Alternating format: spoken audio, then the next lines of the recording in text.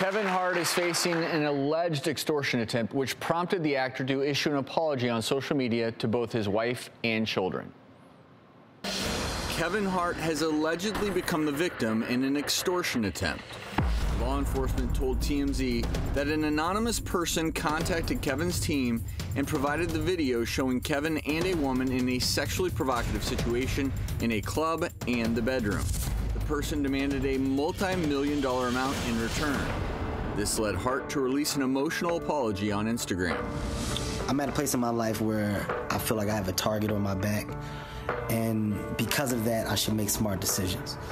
And recently, I didn't. Um, you know, I'm not perfect. I'm not going to sit up here and say that I am or, or, claim to be in any way, shape, or form. And I made a bad error in judgment and put myself in an environment where only bad things can happen, and they did. And in doing that, I know that I'm going to hurt the people closest to me, who I've talked to and apologized to, being my wife and my kids. Um, and I just, you know, it's, it's a shitty moment. It's a shitty moment when you when you know you're wrong, and there's no excuses for your wrong behavior. Um, at the end of the day, man, I just simply got to do better. But I'm not going to also allow a person to to have financial gain off of my mistakes. And in this particular situation, that's what was attempted. I said I'd rather fess up to my mistakes. Later in the week, it was revealed the woman at the center of the video is actress and model Montia Sabbag, who in a press conference with her lawyer Lisa Bloom stated that she isn't the extortionist. I was involved with Kevin Hart a month ago. Since then, my pictures and my name have been released with lies written about me. I am not an extortionist. I'm not a stripper. I'm a recording artist and an actress, and I have not broken any laws. I had nothing to do with these recordings.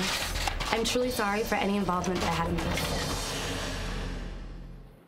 And joining us now is attorney Lisa Bloom, who is representing Montia Sabbag. And, and let me just say, Lisa, that this case is just really sad on many levels. We, we, don't need to dive into that just yet, but what is the latest? Because you're representing Montia. Yes. And I know initially a lot of people were accusing her of being the extortionist, but that's not the case. Yeah, those accusations are false, and we came out this week to say that she is a victim uh, she has apologized for the choice that she made to be in the hotel room with Kevin Hart to begin with, but it was a crime for someone to sneak a camera into that room. It was a crime to surreptitiously record them. It was a crime to post those pictures on the internet. She is a crime victim, and so we are going to law enforcement to report this crime and to fully cooperate. So, Lisa, you're saying nobody is extorting?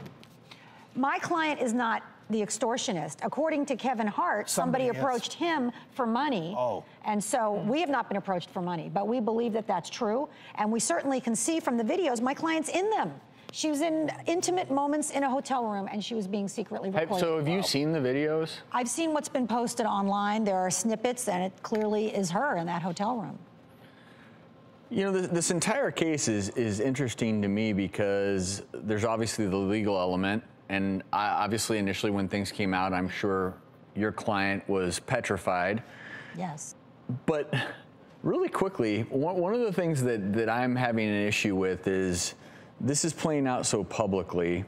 Um, mm-hmm. Even Kevin's apology, one of the comments was, because I have a target on my back, I need to make better decisions. Not and because I need to elevate my moral standards or, right. or stop cheating myself, on wives that are pregnant. Right, or, or his statement saying that he put himself in an environment. You know, I, I would like to see him not only not apologize publicly, because if they're going to have any chance of moving forward, whether it's him with his current partner or anybody else, it has to be done in private so that they actually have the thoughtfulness and not so much done for the public so that the public can see he is a good person. But when he said that he put himself in an environment, I had a problem with that because I don't feel like it's a real apology. It's sort of not taking ownership of the fact that he was action oriented well, Judy, in that particular I, I, clearly the, the, guy's got an issue with monogamy. I, yes. I, have serious doubts you're the expert not me that that he can deal with monogamy uh, going forward. So it sounds like he he needs either to not pretend that that lifestyle is right for him or he needs to get some help